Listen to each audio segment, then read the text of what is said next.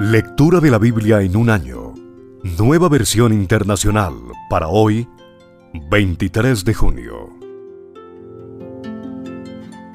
Salmos, capítulo 76. Dios es conocido en Judá. Su nombre es exaltado en Israel. En Salén se halla su santuario. En Sión está su morada.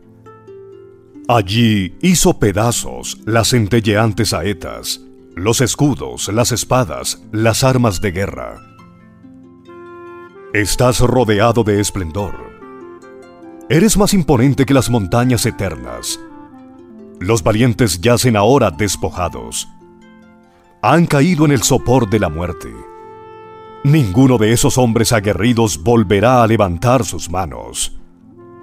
Cuando tú, Dios de Jacob, los reprendiste.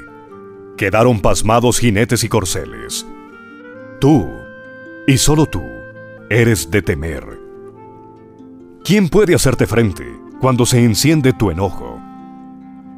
Desde el cielo diste a conocer tu veredicto. La tierra, temerosa, guardó silencio cuando tú, oh Dios, te levantaste para juzgar, para salvar a los pobres de la tierra. La furia de Edom se vuelve tu alabanza. Lo que aún queda en Hamat se vuelve tu corona. Hagan votos al Señor su Dios y cúmplanlos, que todos los países vecinos paguen el tributo al Dios temible. El que acaba con el valor de los gobernantes, al que es temido por los reyes de la tierra. Salmos Capítulo 77 A Dios elevo mi voz suplicante. A Dios elevo mi voz para que me escuche. Cuando estoy angustiado, recurro al Señor. Sin cesar, elevo mis manos por las noches, pero me niego a recibir consuelo. Me acuerdo de Dios y me lamento. Medito en Él y desfallezco. No me dejas conciliar el sueño. Tan turbado estoy que ni hablar puedo. Me pongo a pensar en los tiempos de antaño. De los años ya idos me acuerdo. Mi corazón reflexiona por las noches. Mi espíritu medita e inquiere. ¿No se rechazará el Señor para siempre? ¿No volverá a mostrarnos su buena voluntad? Se habrá agotado su gran amor eterno y sus promesas por todas las generaciones. ¿Se habrá olvidado Dios de sus bondades y en su enojo ya no quiere tenernos compasión? Y me pongo a pensar, esto es lo que me duele, que haya cambiado la diestra del Altísimo. Prefiero recordar las hazañas del Señor traer a la memoria sus milagros de antaño. Meditaré en todas tus proezas, evocaré tus obras poderosas. Santos, oh Dios, son tus caminos. ¿Y qué Dios hay tan excelso como nuestro Dios? Tú eres el Dios que realiza maravillas, el que despliega su poder entre los pueblos. Con tu brazo poderoso redimiste a tu pueblo a los descendientes de Jacob y de José. Las aguas te vieron, oh Dios. Las aguas te vieron y se agitaron. El propio abismo se estremeció con violencia. Derramaron su lluvia las nubes. Retumbaron con estruendo los cielos. Rasgaron el espacio tus centellas. Tu estruendo retumbó en el torbellino y tus relámpagos iluminaron el mundo. La tierra se estremeció con temblores. Te abriste camino en el mar. Te hiciste paso entre las muchas aguas, y no se hallaron tus huellas. Por medio de Moisés y de Aarón, guiaste como un rebaño a tu pueblo. Salmos capítulo 78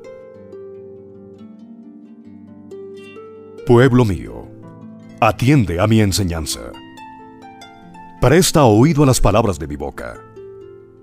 Mis labios pronunciarán parábolas y evocarán misterios de antaño, cosas que hemos oído y conocido, y que nuestros padres nos han contado. No las esconderemos de sus descendientes. Hablaremos a la generación venidera del poder del Señor, de sus proezas y de las maravillas que ha realizado. Él promulgó un decreto para Jacob dictó una ley para Israel. Ordenó a nuestros antepasados enseñarlos a sus descendientes, para que los conocieran las generaciones venideras y los hijos que habrían de nacer, que a su vez los enseñarían a sus hijos. Así ellos pondrían su confianza en Dios y no se olvidarían de sus proezas, sino que cumplirían sus mandamientos. Así no serían como sus antepasados, generación obstinada y rebelde, gente de corazón fluctuante, cuyo espíritu no se mantuvo fiel a Dios.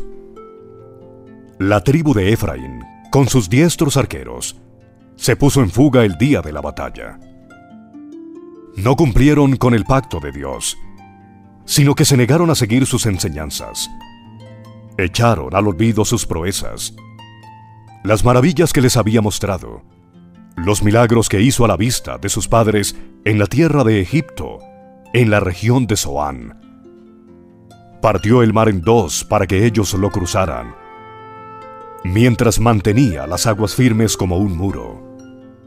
De día los guió con una nube, y toda la noche con su luz de fuego. En el desierto partió en dos las rocas, y les dio a beber torrentes de aguas hizo que brotaran arroyos de la peña y que las aguas fluyeran como ríos. Pero ellos volvieron a pecar contra él. En el desierto se rebelaron contra el Altísimo. Con toda intención pusieron a Dios a prueba y le exigieron comida a su antojo. Murmuraron contra Dios y aún dijeron, ¿podrá Dios tendernos una mesa en el desierto? Cuando golpeó la roca, el agua brotó en torrentes. Pero, ¿podrá también darnos de comer? ¿Podrá proveerle carne a su pueblo? Cuando el Señor oyó esto, se puso muy furioso. Su enojo se encendió contra Jacob. Su ira ardió contra Israel. Porque no confiaron en Dios, ni creyeron que Él los salvaría. Desde lo alto dio una orden a las nubes, y se abrieron las puertas de los cielos. Hizo que les lloviera maná para que comieran. Pan del cielo les dio a comer. Todos ellos comieron pan de ángeles. Dios les envió comida hasta saciarlos. Desató desde el cielo el viento solano, y con su poder levantó el viento del sur. Cual lluvia de polvo, hizo que les lloviera carne. Nubes de pájaros, como la arena del mar, los hizo caer en medio de su campamento y en los alrededores de sus tiendas. Comieron y se hartaron, pues Dios les cumplió su capricho. Pero el capricho no les duró mucho. Aún tenían la comida en la boca, cuando el enojo de Dios vino sobre ellos dio muerte a sus hombres más robustos. Abatió a la flor innata de Israel. A pesar de todo, siguieron pecando y no creyeron en sus maravillas. Por tanto, Dios hizo que sus días se esfumaran como un suspiro, que sus años acabaran en medio del terror. Dios los castigaba, entonces lo buscaban, y con ansia se volvían de nuevo a Él se acordaban de que Dios era su roca, de que el Dios Altísimo era su redentor. Pero entonces lo halagaban con la boca y le mentían con la lengua. No fue su corazón sincero para con Dios. No fueron fieles a su pacto. Sin embargo, Él les mantuvo compasión. Les perdonó su maldad y no los destruyó. Una y otra vez contuvo su enojo y no se dejó llevar del todo por la ira. se acordó de que eran simples mortales, un efímero suspiro que jamás regresa. ¿Cuántas veces se rebelaron contra él en el desierto y lo entristecieron en los páramos? Una y otra vez ponían a Dios a prueba, provocaban al santo de Israel. Jamás se acordaron de su poder, de cuando los rescató del opresor, ni de sus señales milagrosas en Egipto ni de sus portentos en la región de Zoán, cuando convirtió en sangre los ríos egipcios y no pudieron ellos beber de sus arroyos. Pero cuando les envió tábanos que los devoraban y ranas que los destruían, cuando entregó sus cosechas a los altamontes y sus sembrados a la langosta, cuando con granizo destruyó sus viñas y con escarcha sus higueras, cuando entregó su ganado al granizo, y sus rebaños a las centellas. Cuando lanzó contra ellos el ardor de su ira, de su furor, indignación y hostilidad. Todo un ejército de ángeles destructores. Dio rienda suelta a su enojo y no los libró de la muerte, sino que los entregó a la plaga. Dio muerte a todos los primogénitos de Egipto a las primicias de su raza en los campamentos de Cam. A su pueblo lo guió como a un rebaño. Los llevó por el desierto como a ovejas, infundiéndoles confianza para que no temieran. Pero a sus enemigos se los tragó el mar. Trajo a su pueblo, a esta, su tierra santa, a estas montañas que su diestra conquistó. Al paso de los israelitas, expulsó naciones, cuyas tierras dio a su pueblo en heredad. Así estableció en sus tiendas a las tribus de Israel. Pero ellos pusieron a prueba a Dios, se rebelaron contra el Altísimo y desobedecieron sus estatutos. Fueron desleales y traidores, como sus padres, tan falsos como un arco defectuoso. Lo irritaron con sus santuarios paganos. Con sus ídolos despertaron sus celos Dios lo supo y se puso muy furioso, por lo que rechazó completamente a Israel. Abandonó el tabernáculo de Silo, que era su santuario aquí en la tierra, y dejó que el símbolo de su poder y gloria cayera cautivo en manos enemigas. Tan furioso estaba contra su pueblo, que dejó que los mataran a filo de espada. A sus jóvenes los consumió el fuego, y no hubo cantos nupciales para sus doncellas. A filo de espada cayeron sus sacerdotes, y sus viudas no pudieron hacerles duelo. Despertó el Señor, como quien despierta de un sueño, como un guerrero que, por causa del vino, lanza gritos desaforados.